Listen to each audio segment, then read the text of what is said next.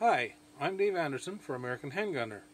The 22 Magnum is a cartridge I like very much in both rifles and revolvers. This Smith & Wesson Model 51 kit gun is one I often carry on camping and hunting trips.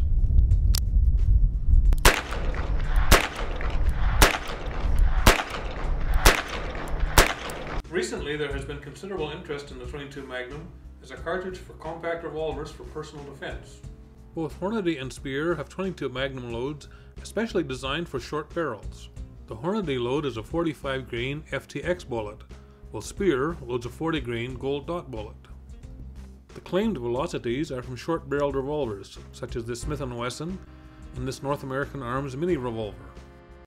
I tried both the Speer and the Hornady loads over the chronograph from a variety of barrel lengths.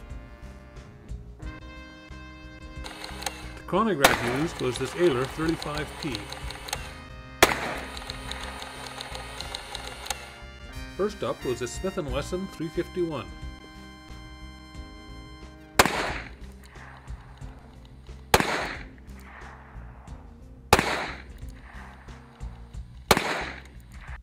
Next up was my Smith & Wesson 51.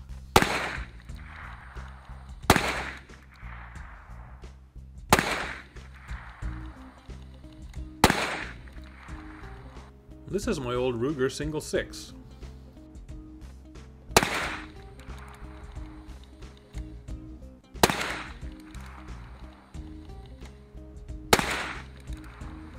To see what a longer barrel would do, I used my Winchester 9422M.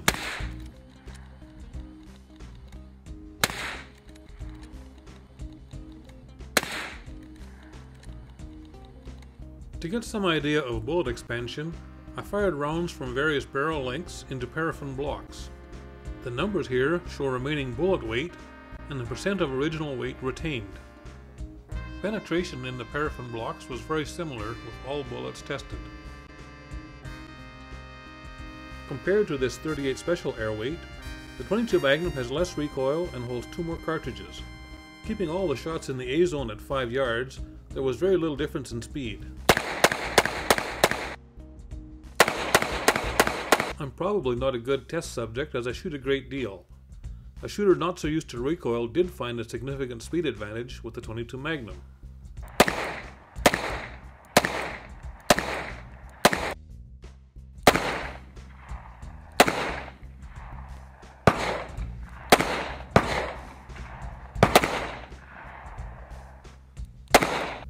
Although I personally prefer a minimum 9mm or 38 special for personal defense, these short barrel 22 Magnum loads performed as advertised, and they gave excellent accuracy and reliability.